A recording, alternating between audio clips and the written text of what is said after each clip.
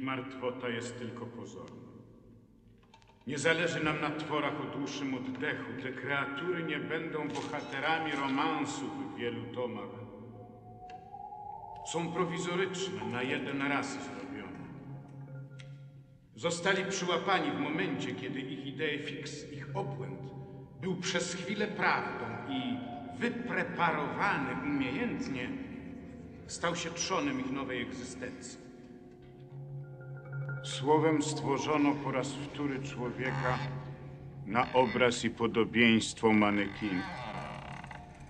To narchiste leukemii, morderca cesarzowej Elżbiety.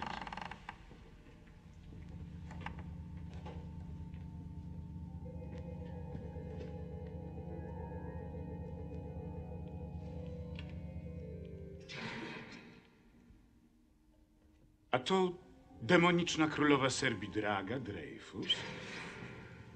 Tam Edison, Bismarck. Skórzana pończocha. A oto genialny młodzieniec, nadzieja i duma rodu, ale zgubił go nieszczęsny naukonani. Niestety, nie są autentyczni. Ale włożono wiele wysiłku, żeby, żeby się dobrze prezentowali. Są bladzi, jak należy, z wypiekami ich ostatnich chorób, na które umarli.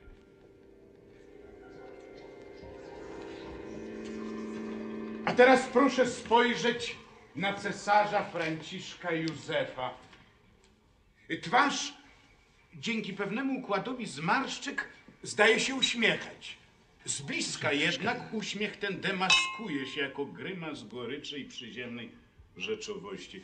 Miał brata, młodszego, zgoła innego ducha, innej idei. Ten profesjonalnie, niejako pokrzywdzony z racji swego urodzenia nieszczęsny antagonista nosił imię arcyksięcia Maksymiliana. Cesarz kochał go potajemnie, lecz przemyśliwał nad jego zgubą. Najpierw zamianował go komandorem eskadry lewantyńskiej, nadziei, że nędznie zatonie, a potem zawarł tajną konwencję z Napoleonem III. Oto on.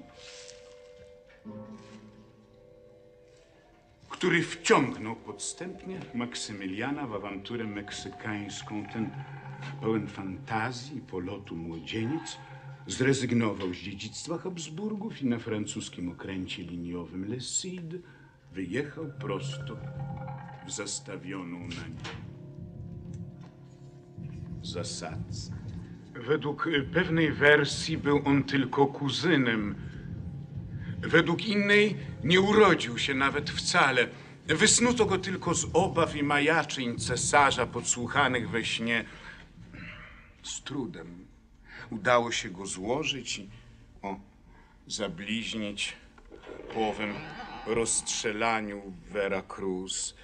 Niestety do tej pory cierpi na amnezję. Musiałem go na nowo uczyć jego życia, ale uzyskałem tylko tyle, że na dźwięk imienia cesarza, Franciszka Józefa, o, dobywa szabli.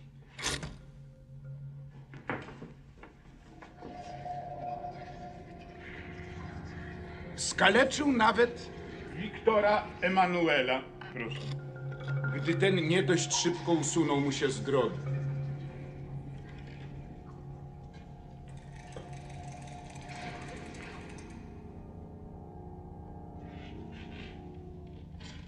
Bianka i Maksymilian?